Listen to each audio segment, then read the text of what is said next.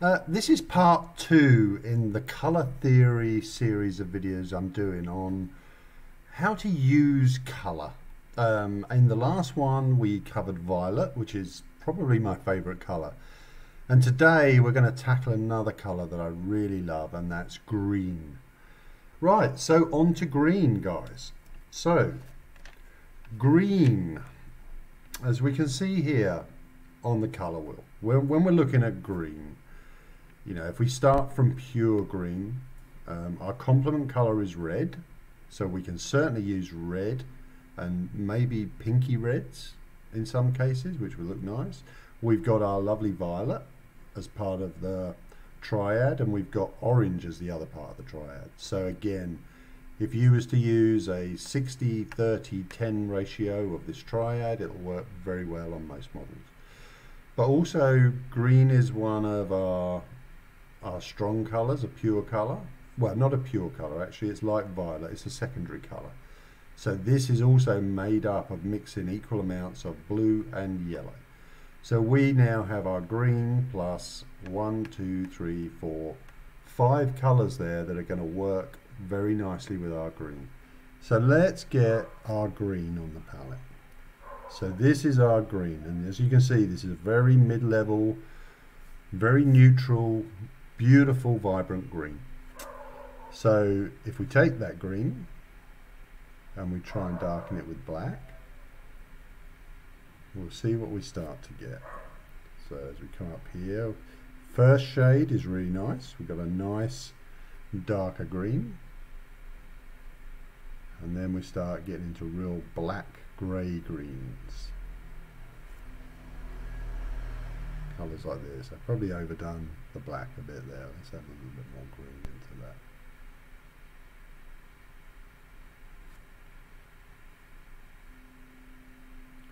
So obviously going darker but getting more and more desaturated. And we'll do the same with the light side. So again, we'll start with that green and we're going to add a little bit of white and we'll start getting much lighter paler colours. At this stage that's quite nice. It's not bad. But we'll see that it starts to really start to desaturate when we're adding the white in. As the more and more white we add the more colour we're losing. So always remember that when you're adding white you're you're effectively removing colour and just adding you know, a non-color white. As it is, this, this progression is very nice. It's quite pleasing actually through green. Um, certainly one of the better colors to use white in. You know, like I say, it doesn't quite look quite so stark and um, chalky as other colors and it, it, it starts moving towards a sort of minty sort of green, which, which is nice, it's really nice. But let's get on to the interesting stuff. So, the complement of green. So when we look on the colour wheel, the perfect complement to green is red.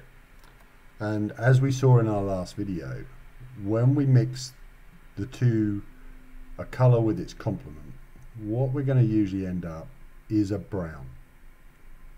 A brownish sort of tone, a greyish brownish sort of tone.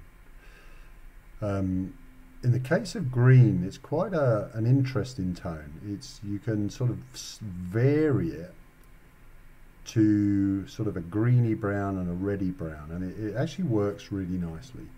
So we'll start up here with that. So that's adding red and green to get this sort of brownish tone that we're going to get from those two colors. Once we've got that tone, as I showed before, that there's so many ways we, we could have different sprouts off of that tone from the green. We could aim, we could add more towards the green, we could add yellow into that, we could add a nice yellow, oranges, you know, it, it's sort of endless possibilities, but we'll, we'll go down the road of adding more red to that. We'll just stick to the red and then we get this sort of now we're heading more into this sort of burgundy sort of, sort of territory. And if we now start adding in one of my mixing colors like ice yellow, now we're getting into these really nice sort of more of the plum sort of color again. Slightly different tone to what we had in the violet one. But this is more, when we use that complement color, I'm, I'm sort of finding that we start getting more into nice sort of skin shadow colors. We could start really using this as skin colors and skin shadow colors especially. And all I'm doing here is I'm just adding ice yellow into that mix. And as you can see here, this is getting into a really nice sort of skin color now. For shading on a skin, adding like a desaturated tone would work really nicely. And it, it, it the tone is really lovely. It's really pleasing. And this progression, again, doesn't look very green, but there is definitely green in there. So it's it's going to harmonize with your your green color scheme. It's going to work really nice as an offshoot color next to something that's green. So the other colors we've got, we've got violet and we've got orange. We, we've already sort of covered a bit of violet in a previous video, but we'll, we'll just step through quickly what happens when we start adding a little bit of violet in. So when we start adding this in, the, these are the tones that I really like. This really starts to get interesting now with violet. Um, so we're now getting this again a darker richer green which is very nice. Now we add a little bit more in. And the trick here is it's a bit like the red. It's start going to start getting darker and darker. So we'll start adding our ice yellow in now to that color. And I know we've already seen a very similar progression on the purple video. Um, so we're going to get very similar colors. But this time it's more I'm doing it more green dominant so I'm using a lot of our main color and I'm just lightening that up. So effectively with an ice yellow or a pale yellow I'm adding yellow but I'm adding a little bit of white in it to get um, a slightly more saturated color. As you can see like as we get now into the real highlight values again just a lovely progression of color that I really love. These these offshoot colors we get are just really exciting. They they they really sort of are pleasant on the eye. And, and this is the difference when you're using color when you when you're using whites and blacks you tend to get this like I said earlier a very stark or chalky sort of look, which is not so pleasant. And it's much harder to blend. When you're using more pure colors like this, blending I actually find a lot easier and it's much nicer to find and easier to find these in-between tones that make the overall part you're painting look more interesting. So let's carry on. So we've got our green. We're going to come with our green again and we're going to start, we're going to try the other part of the triad, which is orange. What's going to happen when we mix green and orange? What sort of colour are we going to get here, do you think, guys? So, we're now moving here. So we've got, a, again, quite a, if you look at all these different first colour greens, we've got this completely different array of greens. This one as well is, now this to me looking more like a woodland forest green. And it's, it's really nice. It's just a beautiful rich colour. Um, so we'll add just even more orange into that. And we're, we're starting to get these really lovely sort of woodland tones. Look at that tone there. It's like a, a greeny brown, but very sort of like woodlandy.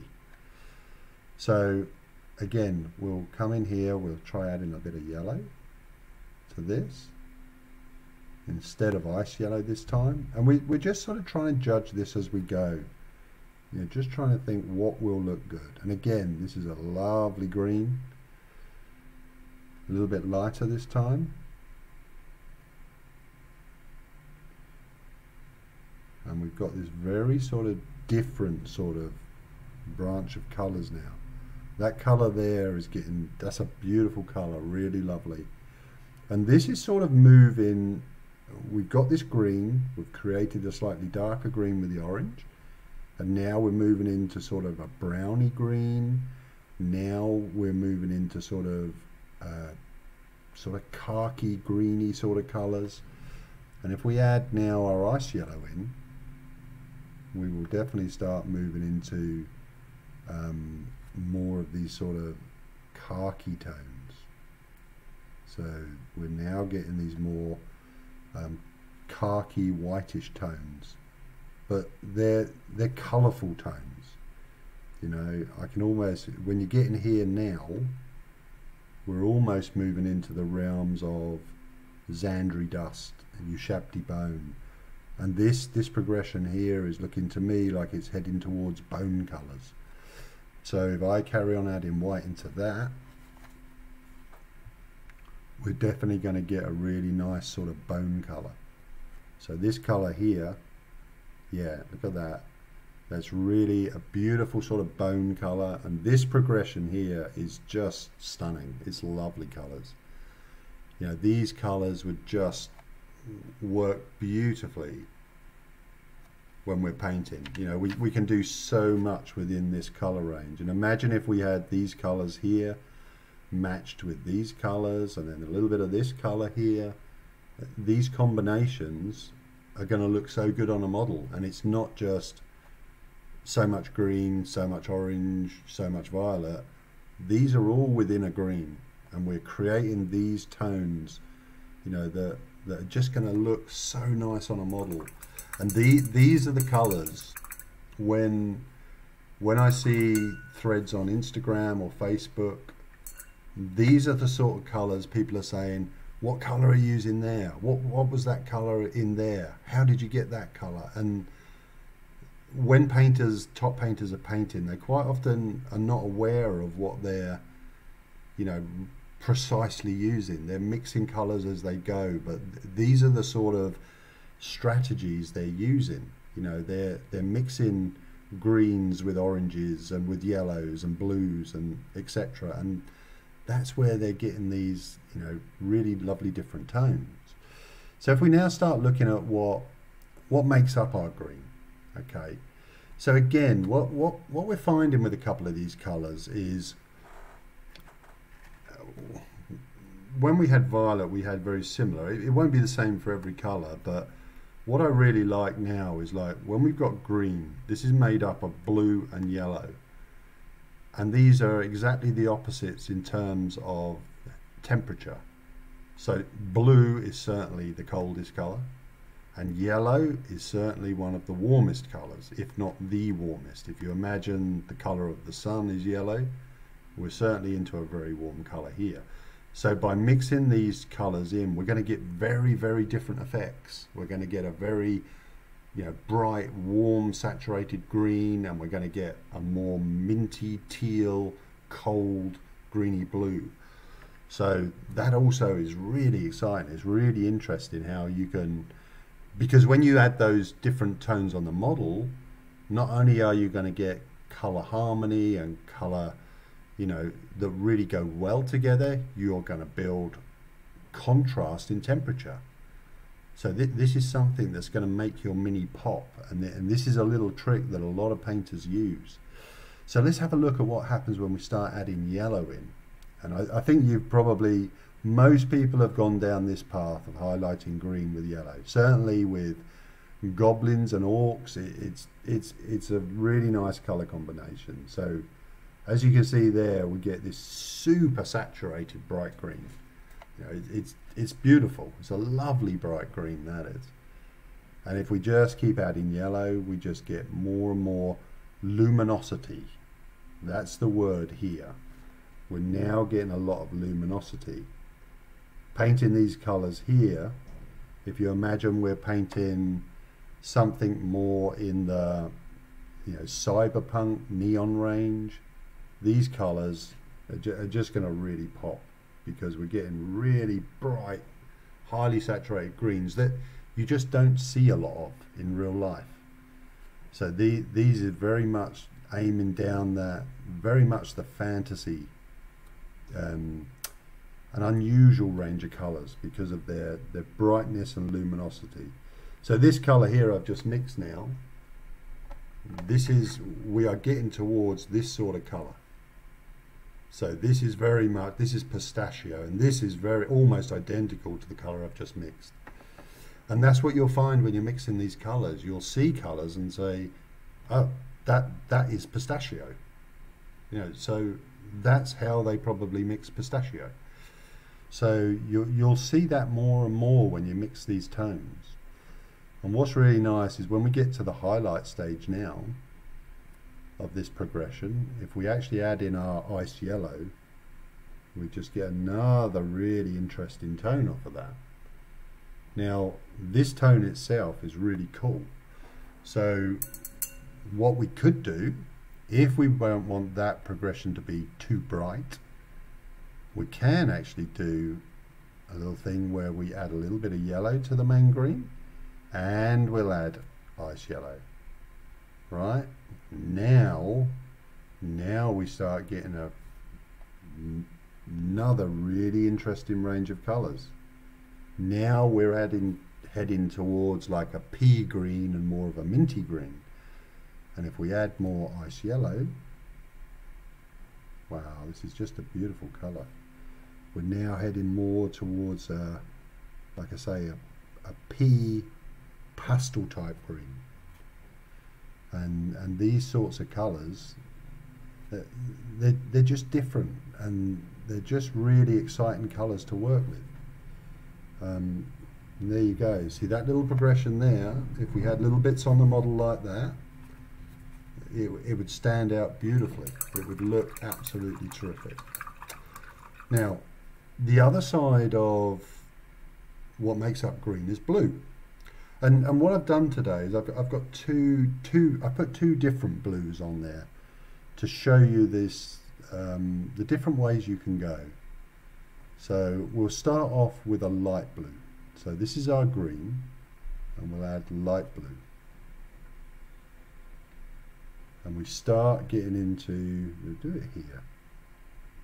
See now we've got this sort of bluey green colour. It's very much a sort of GW type color. I think it's jade green. I can't remember the exact name of it. But you can see these colors as you're mixing. And again, we'll have more blue in. So it's a bit more dominant now, the blue. And now we're getting into these very blue greens. You know, a sort of turquoise, jade, blue green sort of thing. Let's just get a little bit more of my ice yellow on there and we'll carry on this progression. So how are you liking these videos, guys? Tell me, tell me in the comments below. Are you finding this interesting, exciting? What, what do you think? I, I love making these videos. They're, they're just so cool, and I, I got such a lot of good response from the first one. That it, it's so nice to see you guys getting something out of this. Now look at this. This is this is a beaut. This is what I'd call a perfect blue green. This color here, which I love. I love using that type of color. It's so interesting. And again, we can just I'm just adding more and more ice yellow. I could have used pale yellow, but now we're getting to these beautiful tones. Look at that. That that's just so so rich. It's so it, it, it'll pop. On your miniature this will pop. It'll really stand out as this just beautiful vibrant blue green and yeah that progression there is just beautiful. Absolutely beautiful. I love that color I, lo I love all these colors and, and as you can see this is this is what strikes me with when we explore color like this with basically just four or five colors here and we're starting from this one color and we've en we've we've we've ended up with a burgundy type plum type run here. We've ended up with brownish tones that we can mix here. We've got more neutral sort of pea, whitish greens here. We've got luminous, bright yellowy greens. Now we've got these beautiful blue toned greens. And, and they're all working really nice. They, they just just looks so gorgeous together. So we'll now look at what we need to do now is we're, we're adding a dark blue, or well, medium blue, but darker. So again, this is green and blue. And here you see this this tone is just gorgeous. That's that's a colour I, I used to use this years ago for cobalts. used to be able to buy this colour and it's just just a beautiful colour. So let's try this time. We'll now start adding yellow in. We'll add yellow first and let's see what we get. Now we've got a nice rich green. Now we'll add a little bit more of that blue and we'll add ice yellow.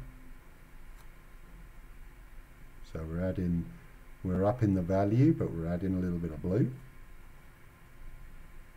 Again, we, we're sort of getting similar tones to up here, but it's slightly different. So what, what can we do to change it? So we don't want the same progression. So let's look at one of our other colours. Ah, yeah, that's nice. That's nice. Now we're getting into some very sort of different colours. Now look at this look. So this is when we add a little bit of orange, one of our other complementing colours, into that progression. And now we're getting into some very different types of colour here. And we maybe add a little bit of luminosity to that with a little bit of yellow. And we'll add a little bit of our ice yellow. And there we go. Again, just a, a very different sort of progression of colour. Um, you know, one of the things like I did there, guys, is don't be afraid to experiment. Right, so if if we've got our green, say, you know, like we just did there, it's it's very nice to say, you know, if we're going down a certain path, say we're adding our purple into that green, all right, which is great. We're getting this color here, which I think is what we did up. Uh, I can't remember which one now. Uh, looks like this one actually. Now that on itself, that's, that's a really nice start of a colour. It's very rich. It's got almost equal amounts green and violet. But don't be afraid now to say, well, okay, let's let's try adding some orange in. Where does this go with orange? What tone do we get? And again, we're getting more brownie tones now. Now we'll add in some yellow perhaps. What does that do? Ah, now we're getting more German uniform type, camo type greens. And again, what if we add a little bit of blue into that? Ah, that's quite nice. So now we're getting very different greens. And again, if we go in with our ice yellow, sort of more of a highlight color to these. Again, we, we're just building different tones. And all we're really having to do here is just lay out our colors. All I've done really here is, laid out the colors green, orange, red, violet, blue and yellow. Um, but mixing and matching those colors from our one green, you know, we're, we're getting some amazingly good tones. You know, it's really working really nicely. And, you know, as in the violet video I did before, like I said, violet is probably my favorite color to work with. But green is a very close second, I think, and this is why. You know, this array of colors and tones can really make your miniatures stand out. And, and like I said, I'm, I'm demonstrating this on the miniature I'm painting at the moment, that you can paint a whole miniature with this one color. You know, just by using this green, like I said, you can paint elements in this really nice blue green. You can paint these browner greens. You can go on the reddish greens. We can even mix that up to like bone colors here. And I'm sure if we experimented through the black line here, we'd get some really nice darker colors. And like I said, you know, you've got reds, yellows, whitish colors, blue colors, all of these colors you can get that are harmonizing with our original green. You know, so this, this area of exploration can really open your eyes to, you know, painting a great color scheme. And, and this is one of um, my students and my, my Twitch audience. You know, one of the most common questions I get asked is, well, how do you build a color scheme? What colors go with this color? What color go with that color? How how do I build a whole color scheme around you know this skin or whatever? And you know, most of the time, if if you guys ever watch me paint, I I start painting with very little plan, and usually I'm focusing on one color. I'll start a skin color and I'll think I want this to have you know, maybe a, a, warm skin tone, which is oranges and yellows, you know, orange browns, and then I'll start looking at within those colors and go, well, actually, I can I can start moving into purple here because purple works perfectly with the yellow. And on the other side of this miniature, maybe I can move into blues because it's more orangey and the blue will complement that. And then with elements around the model, I'm looking at, well, this is more the purple side of the model or you know the shadowy side. What's going to work with purple yellow and I'm building color schemes up like that. So it's a very interesting way um, to build your color schemes you know? Thanks for watching guys. I hope you enjoyed it